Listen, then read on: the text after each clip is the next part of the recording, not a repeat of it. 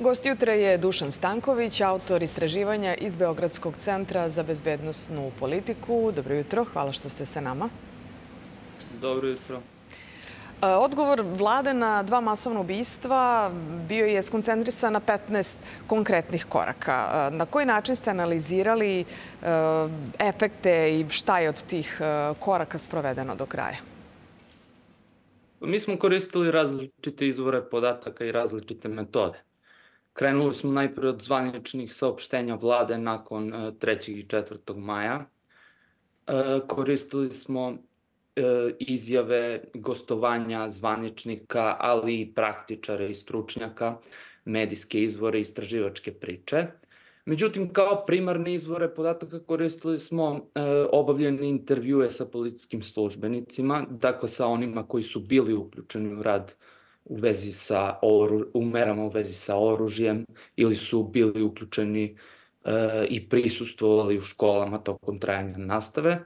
Potom sproveli smo istraživanje javnog mnjenja gde smo se bavili zadovoljstvom građana povodom donetih mera, njihovom percepcijom pretnji od različitih krivičnih dela, njihovim poverenjem u institucije i na kraju koristili smo i neke statističke podatke o kriminalitetu i o događajima nasilja i o događajima u vezi sa oružjem kako bismo uporedili trendove pre i posle 3. i 4. maja. Ono što se vidi je da sve mere koje su ispunjene ili u toku njihovo e, ispunjavanje imaju zajedničko da ih sprovodi Ministarstvo unutrašnjih poslova, kao i da ne zahtevaju nikakvu izmenu zakona. Međutim, sve one mere koje traže upliv zakonodavne grane vlasti su ostale negde u crvenom. Zbog čega? To je tačno. Nije došlo do izmene zakona kako bi se one sprovele.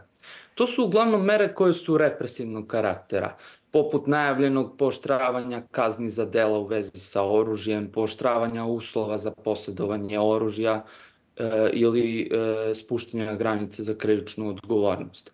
Ne postoje, ne postoje međutim dokazi da bi se sa njihovim donošenjem zaista nešto promenilo i da bi one imale preventivan efekat i da bi se uticalo na, na izvršioce da ne čine više e, dela nasilja i druga dela u vezi sa oružjem. U tom, e, radi ostvarivanja te prevencije, potrebno je povećati izvesnost kazne, znači e, e, da se neko ko učini neko protivpravno delo zaista i kazni, a ne, a ne deklarativno povećavati kazne. To je poznato iz kriminoloških studija i iz prakse. Da bi se povećala ta izvesnost kazne, treba se omogućiti e, normalno funkcionisanje organa, e, treba se omogućiti njihova samostalnost i nezavisnost, dakle da organi rade svoj posao, treba se uzbiti korupciju, treba, e, treba raditi na način da ne bude zaštićenih. Međutim, to, to nije uvek slučaj.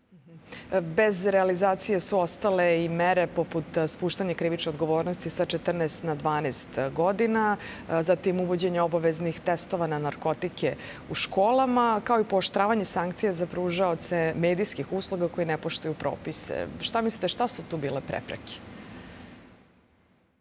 Tako je, to su verovatno i slične prepreke poput, e, poput ovih koje smo već naveli. Potrebne su izmene zakona koje, su, koje se nisu desile, e, ali pored toga ima i političkih prepreka, verovatno. One su različite ove mere. Što se tiče spuštanja granice za krivičnu odgovornost, u U zvaničnom saopštenju vlade odmah nakon Ribnikara je navedeno da je upućen dopis Evropskoj komisiji i nakon toga nije bilo reči o ovoj meri. Verovatno da iz Evropske komisije nije stigao neki pozitivan odgovor povodom toga, a iz razloga koji smo, koje sam naveo E, e, ne postoji je dokazi da bi se tim spuštanjem uticalo preventivno. Što se tiče obaveznog uvođenja, e, uvođenja obaveznih testova na narkotike u školama i to je dosta intruzivna i osetljiva mera, zahteva puno resursa i verovatno da se zbog toga od nje i odustalo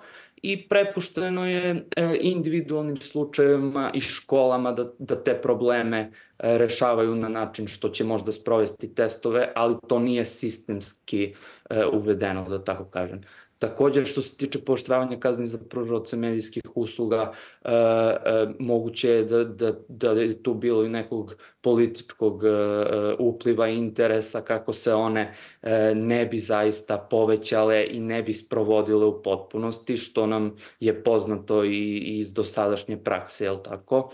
Međutim, to je zaista bitno jer ne, ne stoji ona maksima da televiziju recimo e, ne prate mlađe generacije. Sve što se pojavljuje na televiziji vrlo lako se prenosi i putem interneta, postoje video snimci koji se dele na društvenim mrežama i svi loši primjeri iz e, recimo realitija poput nasilja, netolerancije, diskriminacije ili mizoginije vrlo brzo e, budu viđeni kod svih kategorija populacije i postaju naučani obrazci ponašanja.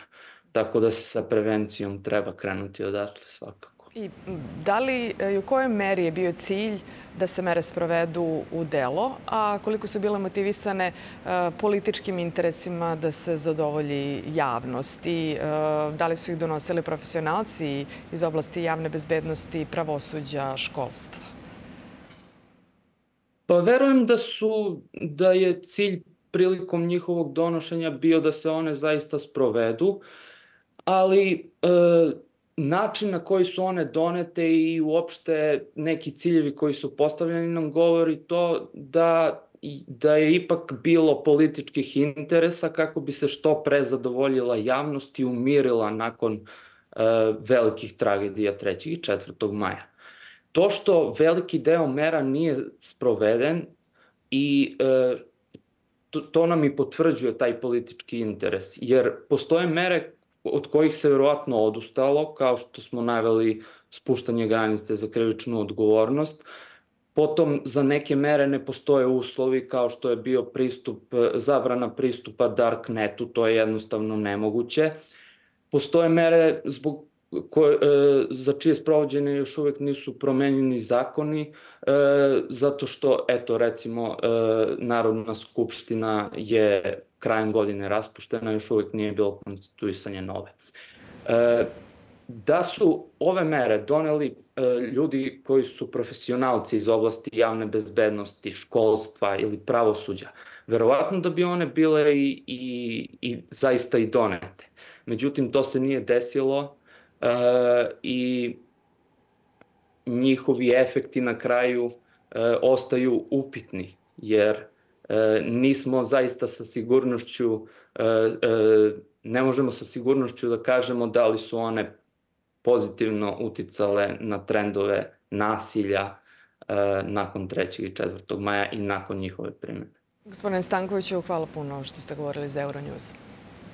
Hvala i vama na pozivu.